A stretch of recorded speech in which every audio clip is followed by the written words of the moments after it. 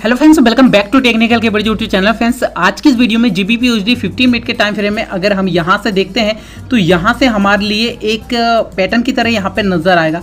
यहाँ पे दोस्तों आप देख सकते हैं एक फ्लैग पैटर्न यहाँ पे आपको फ्लैग पैटर्न की तरह यहाँ पे नज़र आएगा। ये मार्केट इस पैटर्न के अंदर ही यहाँ पे ट्रेड करता हुआ नज़र आएगा। और यहाँ पे आप देखेंगे रेंज बहुत छोटी हो गई है और यहाँ पे इस लेवल का मार्केट ने ब्रेक डाउन किया है। ब्रेक डाउन करने के बाद विग रेड कैंडल भी यहाँ पे बनाई है। ये लगभग मॉर्निंग के टाइम पे ग्यारह बजे की कैंडल है दोस्तों। यहाँ पे मार्केट ने बनाई थी। काफ़ी टाइम से मैं मार्केट को वॉच कर रहा हूँ।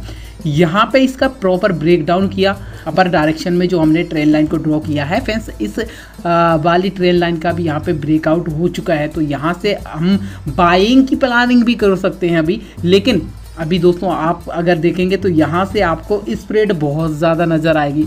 जी बी पी आज का डेट है 24 दिसंबर 2021 आज के दिन जी बी पी में बहुत ज़्यादा स्प्रेड है। 10 पिप्स का तो इसका स्प्रेड है, जिसको हम कहते हैं ब्रोकर चार्जेस तो दोस्तों, आज ब्रोकर चार्जेस बहुत ज़्यादा है। लगभग हम 100 पॉइंट्स के आसपास या फिर 150 पॉइंट्स के आसपास तो दोस्तों हमारा टारगेट ही रहता था। बट आज अगर हम ट्रेड करते हैं तो अभी अगर ट्रेड को प्लेस करेंगे तो लगभग लगभग एट नाइन डॉलर में तो दोस्तों हमारी ट्रेड यहाँ पे माइनस में ही प्लेस होगी।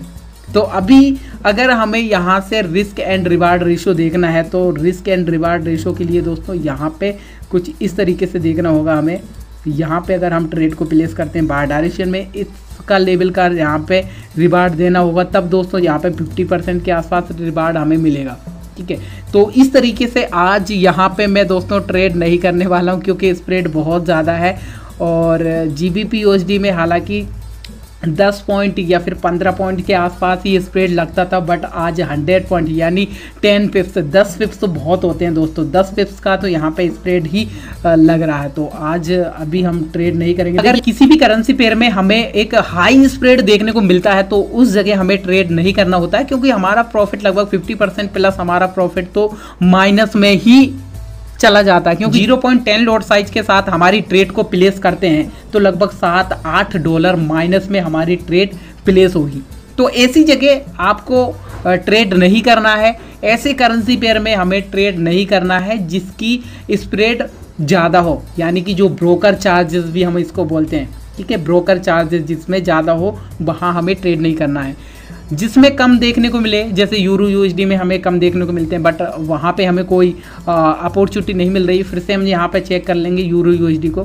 क्या यूरो यूएसडी में कोई अपॉर्चुनिटी मिल रही है? तो यहाँ से फ्रेंड्स देखिए, यूरो यूएसडी में कुछ इस तरीके से यहाँ से हमें एक बाइंग अपॉर्चुनिटी दिख रही है फ्रेंड्स यहाँ से हम बाय कर सकते हैं, क्योंकि यहाँ से अगर आप देखेंगे, देखिए, ये कहीं ना कहीं आपको लेफ़्ट शोल्डर और ये दोस्तों हेड हो गया और ये राइट शोल्डर और यहाँ पर इसका ब्रेक आउट भी किया है तो यहाँ से हम बाइंग की प्लानिंग तो कर सकते हैं। यहाँ पे दोस्तों, अगर हम यूरो यूएसडी में बाइंग की प्लानिंग करते हैं तो यहाँ पे भी कोई बड़ी समझदारी नहीं होगी, क्योंकि दोस्तों, यहाँ पे देख सकते हैं आप, ये मार्केट का एक रजिस्टेंस लेवल की तरह यहाँ पे हो सकता है, मैं भी।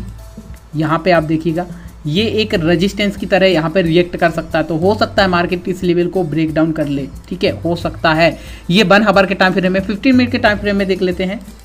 15 मिनट के टाइम फ्रेम में अगर हम देखते हैं तो कुछ इस तरीके का यहाँ पे दिखेगा। देखिए फ्रेंड्स यहाँ पे मार्केट ने रेड कैंडल भी यहाँ पे बनाना ट्राई किया है। तो यहाँ पे दोस्तों, अगर आप देखेंगे यूरो यूएसडी जैसे हमने यहाँ से एक एरिया को यहाँ पर ड्रॉ किया था, यानी ये एक इम्पोर्टेंट रजिस्टेंस लेवल था। इस लेवल का मार्केट रेजिस्टेंस लिया और रेजिस्टेंस लेने के बाद देखिए मार्केट डाउन फॉल करना स्टार्ट कर दिया ठीक है? तो यहाँ पे दोस्तों, अगर हम इस ब्रेकआउट को देखने के बाद ट्रेड को कहीं ना कहीं बाहर डायरेक्शन में प्लेस कर देते तो यहाँ पे हमारा लॉस हो सकता था। तो इस तरीके से दोस्तों, आपको पहले कंफर्मेशन लेना बहुत ज़रूरी है, कहाँ पे रजिस्टेंस सपोर्ट कहाँ पे बन रहा है।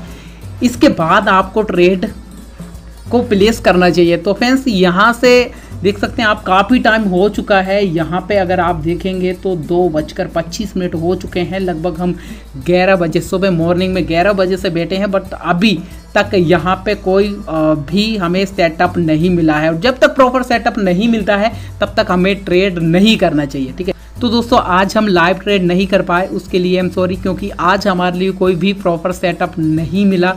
और जब तक दोस्तों हमें प्रॉपर सेटअप ना मिले जिस दिन हमें प्रॉपर सेटअप ना मिले, उस दिन दोस्तों हमें ट्रेड भी नहीं करना चाहिए। तो आई होप आज की इस वीडियो से आपको थोड़ा कुछ लर्निंग को मिला होगा कि जब हमें सेटअप मिले, तभी हमें ट्रेड करना चाहिए अदरवाइज़ ट्रेड को नहीं करना चाहिए।